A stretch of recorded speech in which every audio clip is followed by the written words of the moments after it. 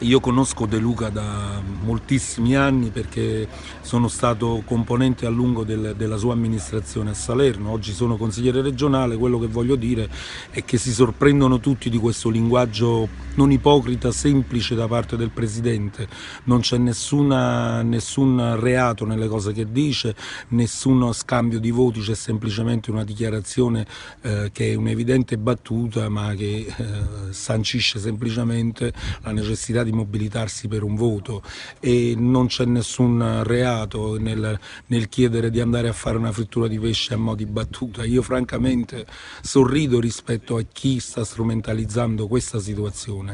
È una strumentalizzazione che fa il paio con quella che c'è stata quando eh, abbiamo fatto le elezioni regionali e a un giorno prima del voto, della chiusura dei seggi, è venuta fuori la storia degli impresentabili.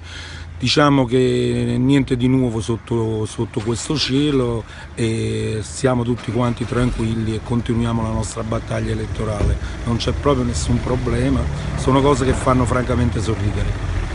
Per quanto riguarda la riforma costituzionale, Picaroni ha tenuto a sottolineare più volte che rappresenta un volano di sviluppo economico in quanto a sburocratizzazione, semplificazione e snellimento dei tempi per l'emanazione delle leggi.